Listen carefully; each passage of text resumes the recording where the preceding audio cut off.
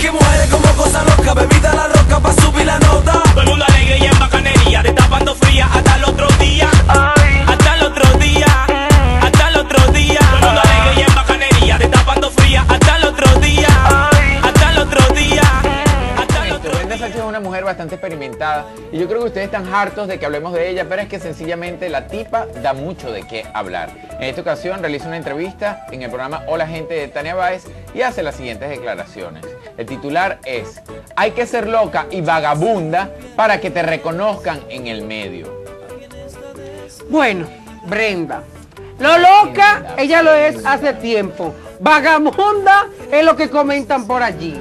Entonces, no te La teoría reco- no aplica. Y no te Entonces, no reconocen, entonces no entiendo. y no te reconocen, La táctica a ti no te ha servido de nada. Porque De si no, nada. ella puede ser, ¿cómo fue que tú La más premiada en este país. Porque ese reconocimiento que ella está goloseando. Si no, ella puede ser la más famosa de- Claro. del medio artístico. Mira, ven acá, porque y, y es cierto, palabritas, Brenda Sánchez.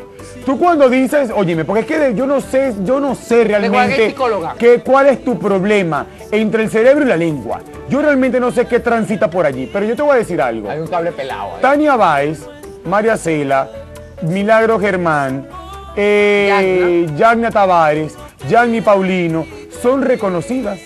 Tú le estás diciendo vagabundas y locas a todas esas mujeres. Porque es que yo no lo puedo entender, porque tú te estás poniendo en un, en un lugar. Yo creo que tú, que tú te estás nivelando con Caroline y con toda esta muchacha, que más bien tú le puedes dar clase, porque pueden ser hijas tuyas. Tú tienes demasiado tiempo en el medio, amiguita.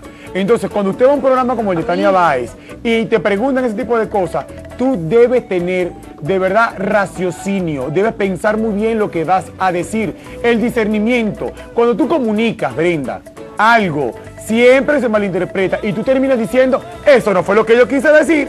Entonces, yo no sé cómo Tania Báez, a pesar de que dijo yerno, yo no sé cómo ella no te pudo rebatir esa... Recuerda eh, que Tania está en su etapa de brutalidad también. no, es- exacto, ella, ella entró, ella entró. Nuero, ¿fue que dijo? Nuero, Nuero, Nuero, Nuero. exacto. Eh, ya no se va a llamar Tania Baez, se va a llamar Tania Nuero. Ñame Baez. Exacto. Entonces, yo no sé cómo Tania, no te digo nada, porque tú le estás tirando directico a Bueno. que son reconocidas. Ahora, serán vagabundas y serán locas.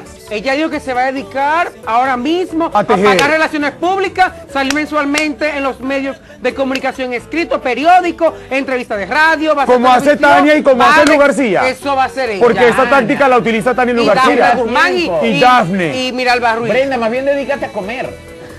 Eso va a ser ella que va... Dedícate a comer, más bien, mira, el súper, yo creo que, mira, tú vas y le pides un intercambio a cualquier cadena de supermercados del país y por pena, por lástima, por vergüenza, te regalan la comida, mi amor. Tú sabes que yo estaba investigando hace rato en Google, eh, porque yo no sé nada de anatomía y tal y todo lo demás, aunque yo estoy veterinario, yo sé cosas de animales. A lo mejor... mi- Entonces estamos hablando Ajá, en a lo mejor español. mi conocimiento aplica en este caso, pero no, en serio.